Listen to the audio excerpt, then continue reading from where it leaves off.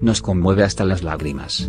Estamos a solo semanas de presenciar la boda más importante del año, pero a la vez, la ocasión más desoladora para el corazón de las miles de jóvenes que crecimos anhelando casarnos con el príncipe Harry. Para consolarnos, lo mejor es ir anticipándonos a los rumores sobre esta mega ceremonia. Aunque los rumores son más bien ciertos, hay hechos que seguro ocurrirán, pero nunca tendremos certeza, ya que estamos hablando de la monarquía aquí, es decir, nunca sabremos los pormenores del asunto por completo. Los padres de Meghan, divorciados hace años, se reunirán con la reina Isabel y otros miembros de la realeza antes de la boda para terminar de preparar los detalles que tendrán que ver sobre todo con protocolo. Sedáis que es la madre de Meghan quien viajará en el auto con la novia y será su padre quien la lleve hasta el altar. También sabemos que la familia de Harry estará involucrada en todo momento en esta ceremonia de carácter real. Pero al igual que con la boda de su hermano William, sabemos que hay una persona a la que el pueblo inglés recordará implícitamente, su fallecida madre Diana. El príncipe Harry decidió honrar la memoria de su difunta madre incluyendo a los tres hermanos de Diana en la ceremonia. Lady Jane, Lady Sharon Cornwall y Earl Spencer estarán con él ese día.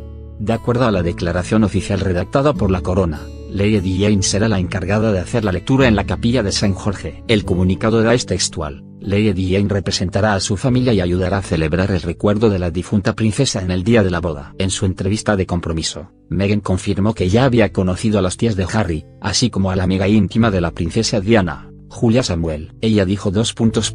Creo que al poder conocer a sus tías, y también a Julia y a diferentes personas que eran tan importantes para su madre, puedo, de alguna manera, conocer una parte de ella a través de ellas y, por supuesto, a través de él. Y ese es increíblemente especial. Hablando sobre lo que su madre pensaría de su futura esposa, el príncipe Harry dijo que probablemente habría sido la mejor amiga de Meghan. Punto ya, habrá que aguantar las lágrimas hasta el 19 de mayo, día en que será finalmente la boda real.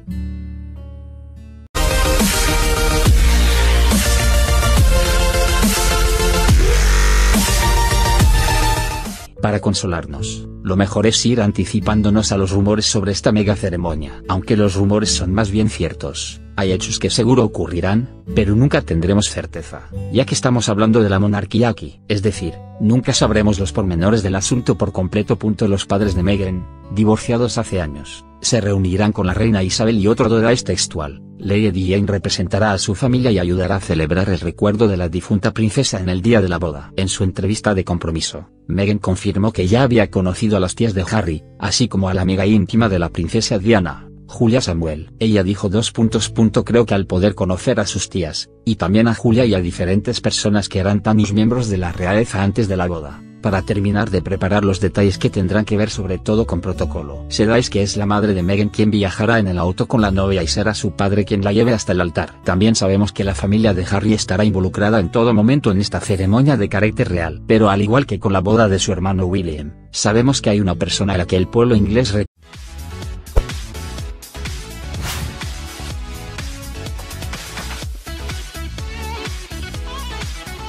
Nos conmueve hasta las lágrimas. Estamos a solo semanas de presenciar la boda más importante del año, pero a la vez, la ocasión más desoladora para el corazón de las miles de jóvenes que crecimos anhelando casarnos con el príncipe Harry. Recordará implícitamente, su fallecida madre Diana. El príncipe Harry decidió honrar la memoria de su difunta madre incluyendo a los tres hermanos de Diana en la ceremonia. Lady Jane, Lady Sharon Cornwall y Earl Spencer estarán con él ese día. De acuerdo a la declaración oficial redactada por la corona, Lady Jane será la encargada de hacer la lectura en la capilla de San Jorge. El comunicado